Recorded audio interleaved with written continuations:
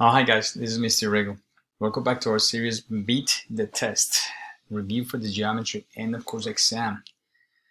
Okay, we're up question number 30. Let's go. Find each of the following angles and arcs formed in circle K. Okay, so they gave me uh, this figure. I gotta find all of this. All right, so um, let's look at them. All right, couple things. First of all, so angle KBC, uh, KBC. Oh, okay. KBC. They're asking for this angle. So guys, let me tell you, when I have a, a tangent line on the outside, a point that has a tangent line to the circle, this tangent line makes a 90 degree with this radius. This tangent line makes a 90 degree with this radius, so angle KBC is 90 degrees because it's a tangent line. So these two are perpendicular to each other. Okay, angle B, BKD. BKD. Alright, so asking for this angle. This angle is called central angle and is the same measure as the measure of this arc. This arc is 148, therefore my central angle is 148, which is angle BKD.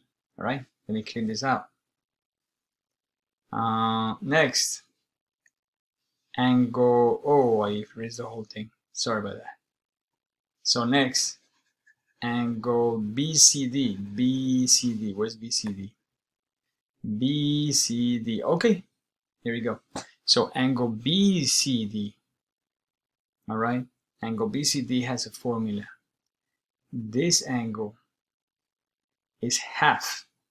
So angle BCD, measure of angle BCD is half of the measure of major arc.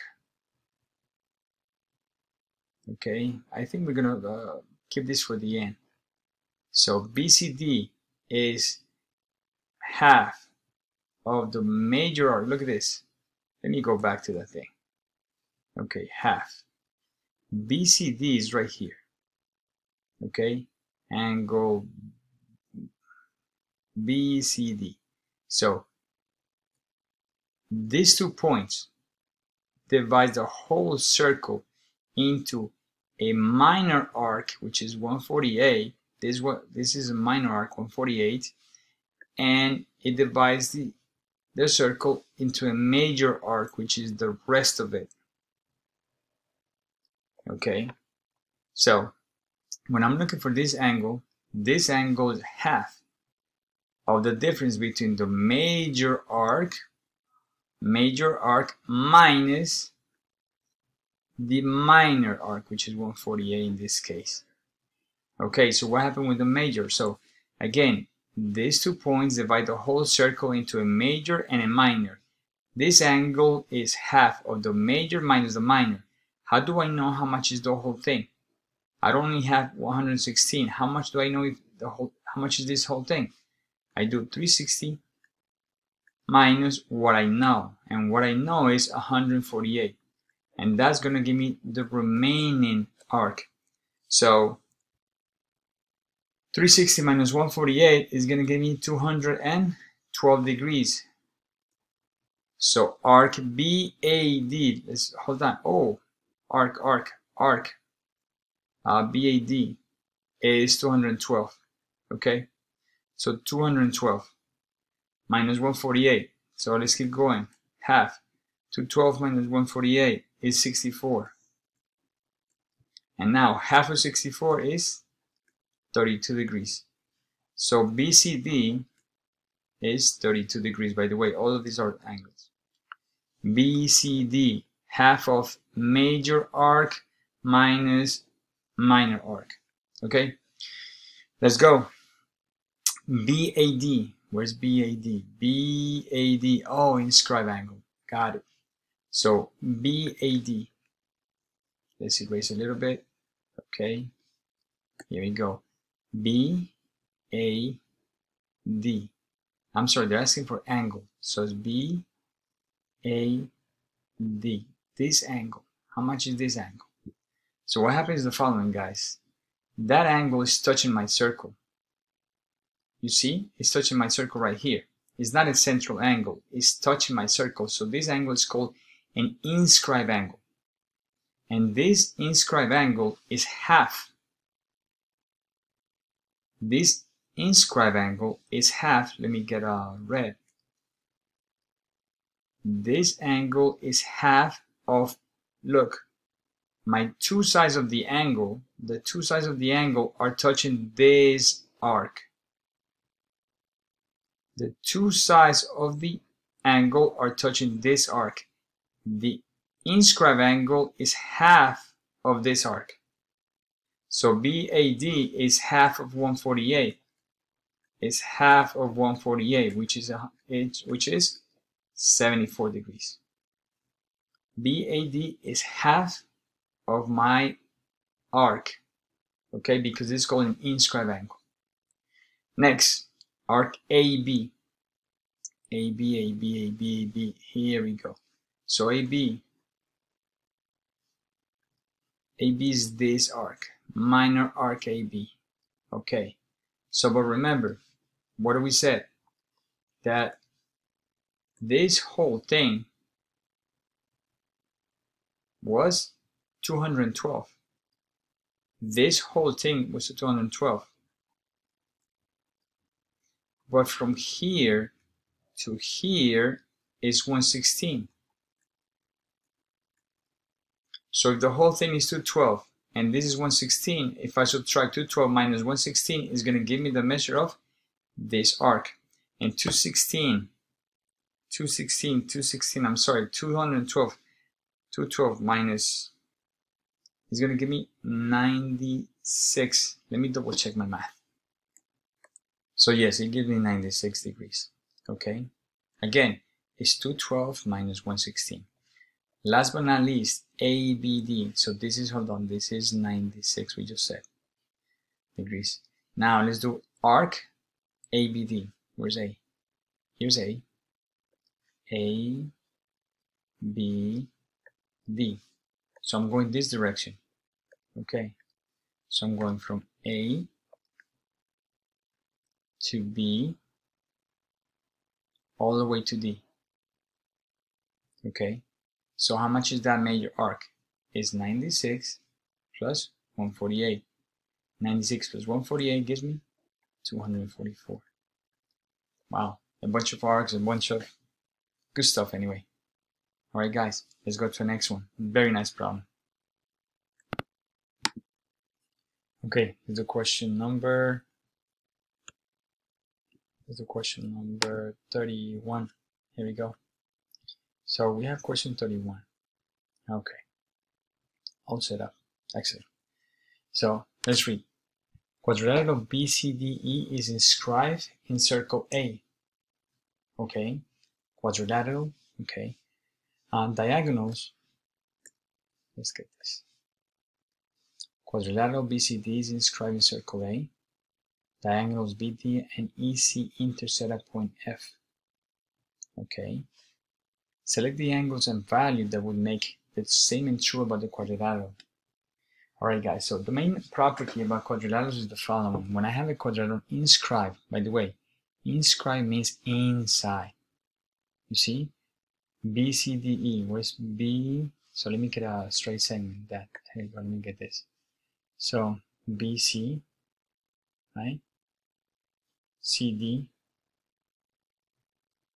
DE, so this is the quadrilateral that's talking about. Let's inscribe my circle. When a quadrilateral is inscribed my circle, what happens is opposite angles. Opposite angles are supplementary. Opposite angles, right? Those two are supplementary.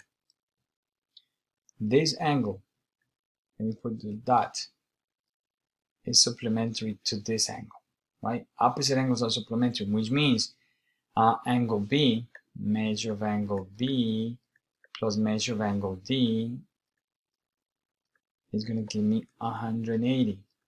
All right, what about the other two? Measure of angle E plus measure of angle C is equal to 180. They're supplementary. Okay, so let's see. Oh, okay, I see 180. All right, all right, all right, all right, cool. So what's going on with this? I have uh, an angle here saying that is equal to 180 minus another angle. Okay, so let's see, EDC, EDC. All right, guys, so so let, us call this thing. I have EBF, EB, oh, EBF, where, oh, this is F over here. This is F. Oh no, that's not the angle that we're talking about. Okay, no. So, no. What we're looking for is angles, the whole angle. EBF is this little angle. No, that doesn't help. No, that doesn't help. EDC, EDC, all right, the big angle. EDC, this big angle. So this could be an answer. EDC is equal to is equal to 180 because they're supplementary. So EDC, let's get it with a different color. Let's get it with black. This angle, so we know what we're talking about, is equal to 180 minus the other angle. Okay? Because here, let me put it like this. I'm looking for, I'm, I'm, i want to leave the angle D by itself. So I subtract measure of angle B minus measure of angle D. Okay, so measure of angle D, which I have here, is angle EDC. This is the same as angle EDC, which is equal to 180 minus the other angle. But angle B is angle EB, uh, ABC or CBE. I don't know how they call it. EBC. Oh, here we go. EBC. So in other words, if two angles, if the sum of two angles equals 180, then I can say that one of the angles is equal to 180 minus the other angle. So one of the angles, angle EDC, is equal to 180. EDC is 180 minus the other angle, and your angle is EBC, which is angle B. So this is the relationship that they want. Select the angles and values that would make the statement true about quadrilateral BC. Everything started saying because opposite angles of a quadrilateral that is inscribed are supplementary. Okay? All right. Not too bad, not too bad. Uh, we can check all the ones. Let's check out the rest of it. EDF. EDF. Again, they're just giving me this piece on the inside. Doesn't work. CFB. C F B. They're talking about the angle on the inside here. Uh, nope. F E D. F E D. This angle. This angle. Uh, nope. Okay. They're talking about quadrilateral, therefore I have to talk about the full angle of any of the vertices of my quadrilateral, not a little piece. Okay, that's the property. The main property, opposite angles are supplementary. Okay, guys, that's it. This is question 31. Again, please, if you found this helpful, like the video, subscribe to the channel. More videos to come. Okay, we're trying to finish the review for geometry for the EOC. All right, as always, subscribe, like the video. That's going to help us grow our channel and therefore we can reach more people, more students like you. Okay, so they need this help as well. All right, guys, thank you very much for watching and stay tuned for the next video. Thank you. Take care.